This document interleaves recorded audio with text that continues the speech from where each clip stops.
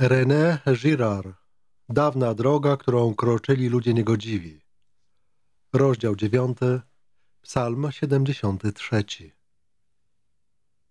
Moje rozumowanie ma nadal charakter domniemania w tym sensie, że zawiść, której Hiob jest obiektem, nie została w tekście wyraźnie ukazana. Przyjaciele oczywiście nic sami o niej nie mówią. Hiob mówi tylko aluzyjnie. Tekst, który wiązałby bezpośrednio mimetyczną zawiść z fenomenem sakralizacji kozła ofiarnego, nie figuruje w księdze Hioba. Znajdujemy go natomiast w innym miejscu Biblii, w psalmie 73, który jest bardzo podobny, a zarazem bardzo różny od tych psalmów, z których jeden pasus już cytowałem. Bardzo podobny ze względu na problematykę, bardzo różny ze względu na perspektywę. Narrator przedstawia się jako sprawiedliwy, wierny prawdziwemu Bogu. Przyznaje jednak, że zniechęca go długotrwała bierność boskiej sprawiedliwości.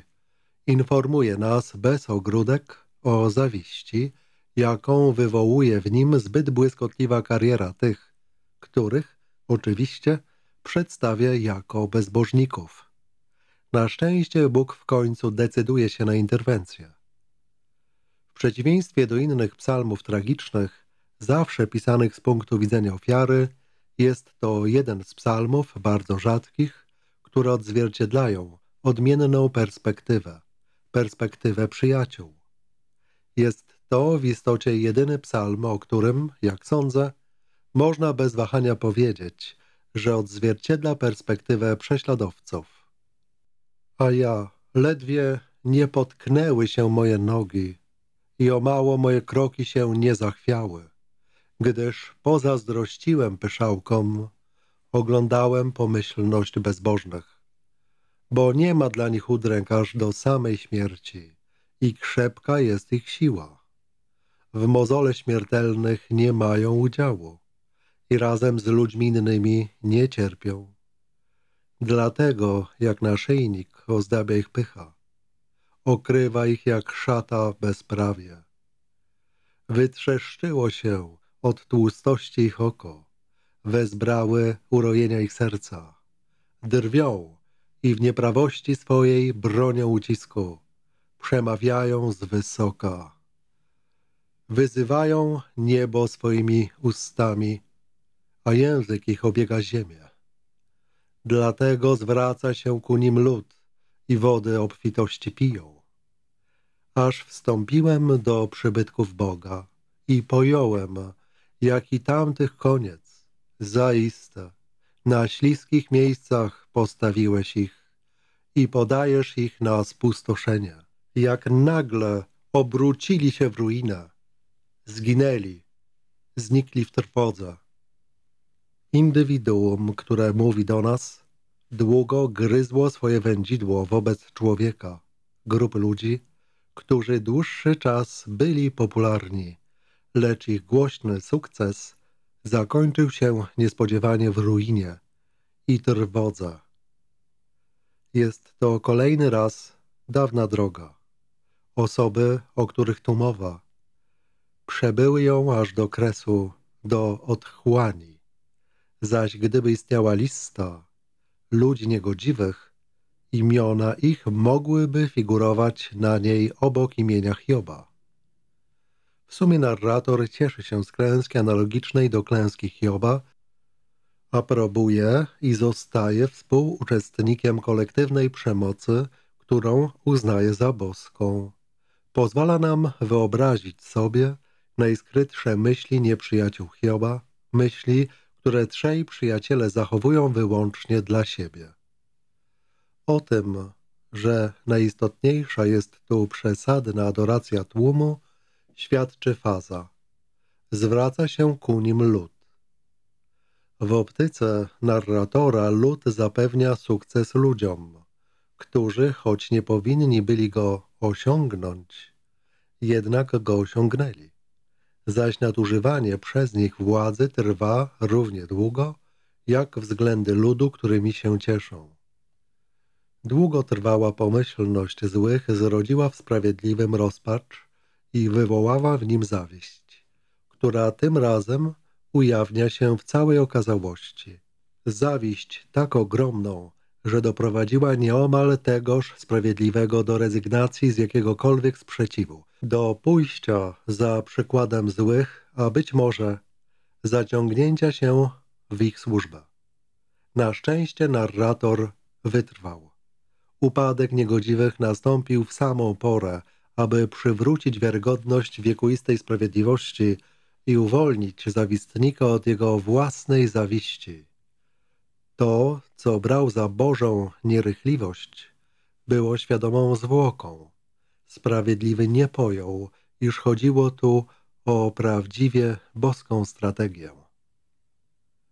Aż wstąpiłem do przybytków Boga i pojąłem, jaki tamtych koniec.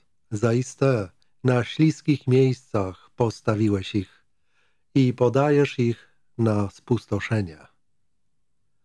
Upadek złych jest postrzegany jako podwójne zwycięstwo Boga i długo upokarzanego sprawiedliwego.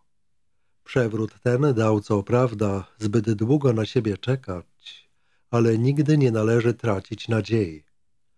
Opinia publiczna, długo wierna swemu faworytowi, dłużej niż by sobie tego życzyła zawistna elita, zawsze w końcu otrząsa się z odrętwienia i załatwia z nieszczęśnikami swoje porachunki. Skoro jakieś indywiduum zajdzie wyżej niż my, wskutek czego nasza egzystencja staje się nie do zniesienia, równie nieznośna staje się niewątpliwie dla innych ludzi. Można zatem oczekiwać, że wcześniej czy później wyzwoli się mechanizm ludowego przewrotu. Im później się wyzwala, tym bardziej nierychliwa, a nawet wątpliwa zdaje się nam boska sprawiedliwość, lecz w ostatecznym rozrachunku odzyskuje reputację nieomylnej.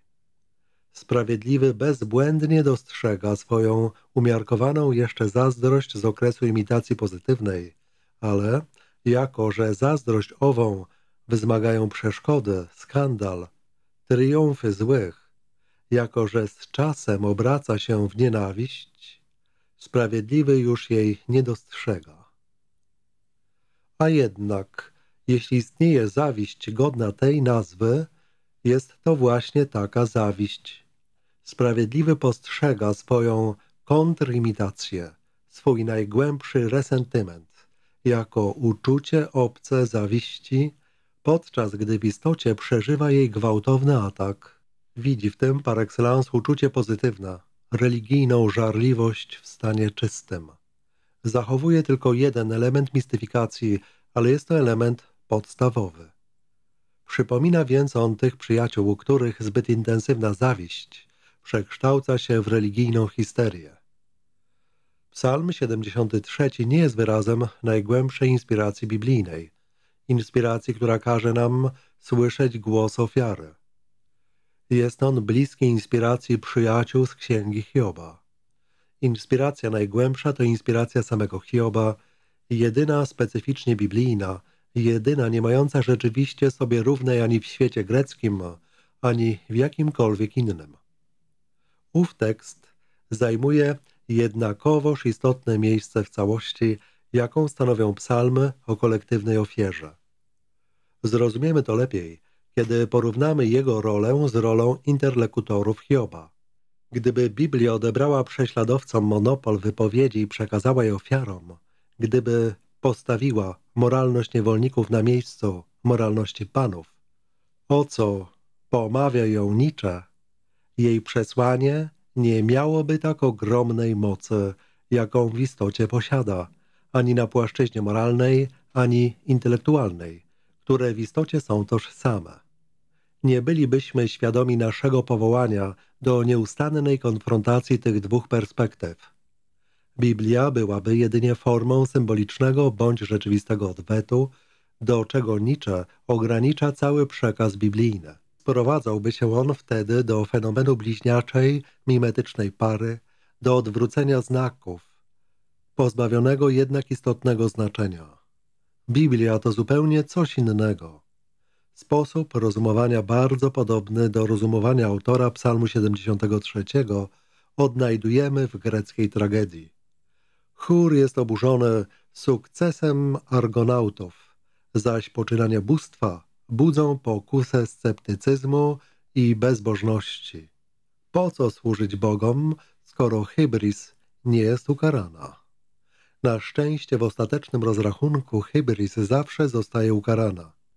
Za zbyt szybkie osiągnięcie szczytu trzeba zapłacić gwałtownym upadkiem. Aeschylos, Sofokles, Eurypides, wszyscy oni komentują wzajemne pokrewieństwo skrajnego wyniesienia i skrajnego poniżenia. Chór głosi uroczyście własną mierność, którą uznaje za bezpieczną. Błyskotliwa kariera ściąga boski grom. Gwałtowne przejęcie władzy przez kolejnego tyrana odpowiada dawnej drodze ludzi niegodziwych. Domyślamy się niestabilności, której polityczny wymiar jest oczywisty, zasadniczy, lecz interpretacje, które ograniczają się jedynie do aspektów politycznych, zniekształca tendencja interpretatorów do faworyzowania albo tyrana, albo, i to najczęściej, tłumu.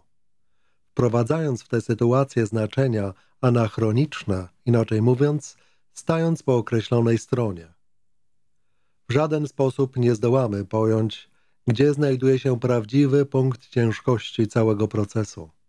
Mechanizmu kozła ofiarnego, jeszcze częściowo zsakralizowanego. Za wymiarem politycznym zostaje jeszcze ciągle ukryty religijny wymiar wydarzeń. Prymitywne religie nigdy nie są oderwane od działania. To wskutek naszej ignorancji uznajemy je za czystej wody zabobon. Żeby jednak poznać zawartą w nich część prawdy, trzeba za każdym razem ukazać ukryte paradoksy porządliwości mimetycznej, przekształcone przez sakralizację, która je zwieńcza. Skoro raz pojmiemy rolę rozhisteryzowanego tłumu w religii przemocy, jesteśmy w stanie oddzielić ziarno od plew i wyciągnąć wnioski z rzeczywistych faktów, które skrywa język sakrum bez obawy, że nas okłamie. Zarówno grecka tragedia, jak i księgi proroków, dialogi Hioba, psalmy odtwarzają wielkie kryzysy, oczywiście polityczne i społeczne, lecz także religijne, które są tożsame ze schyłkiem systemów ofiarniczych jeszcze funkcjonujących w tych dwóch społecznościach. Jesteśmy na styku religii jeszcze sensu stricte ofiarniczych oraz polityki ofiarniczej w szerszym znaczeniu. W niektórych punktach można już przekładać język dyskursu religijnego na język dyskursu politycznego i vice versa. Dzięki pracom Krea oraz wielu innym możliwości takie szybko wzrastają, jednakże ich propagowanie w takim stopniu zakłóci porządek rzeczy w naukach społecznych, że należy liczyć się z gwałtownym sprzeciwem. Koniec rozdziału dziewiątego, psalm 73.